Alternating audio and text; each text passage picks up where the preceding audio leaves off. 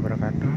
Ya dulur ini ada servisan TV LG Ultra Slim. Jadi TV ini ketika pertama kali datang saya tes colokan steker listrik tekan tombol power ada bunyinya tik tik tik tik tik gitu. Ternyata setelah diperiksa nih transistor horizontal short ya C6090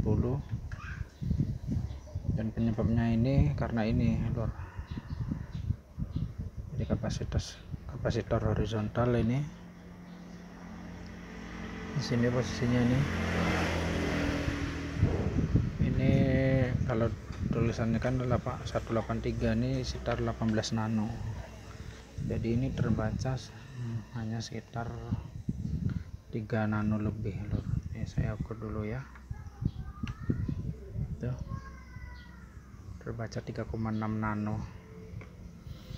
Karena saya tidak punya ya. Habis stoknya untuk 18 nano tapi saya paralel dua buah kapasitor.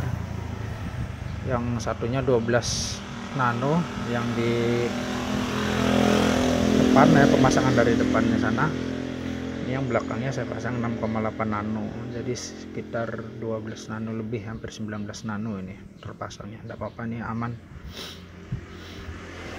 Ini untuk C6090 teman-teman jangan lupa ya. Kalau untuk LG ini ultra slim yang flat ini biasanya. Ini diganti aja dengan yang teman-teman pakai biasanya untuk transistor regulator ya. Bisa C5299 pokoknya yang buat biasa buat regulator ya jangan buat horizontal. Karena apa? Di sini dia udah menggunakan dioda damper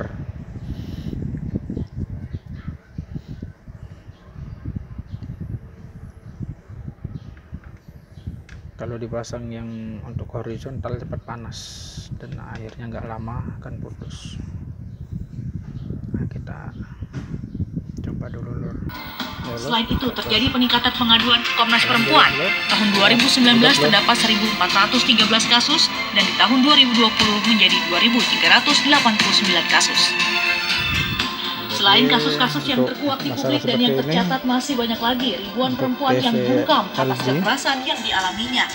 Terutama bagi korban kasus pelecehan seksual lantaran khawatir tidak adanya perlindungan bagi mereka jika kasusnya dilaporkan.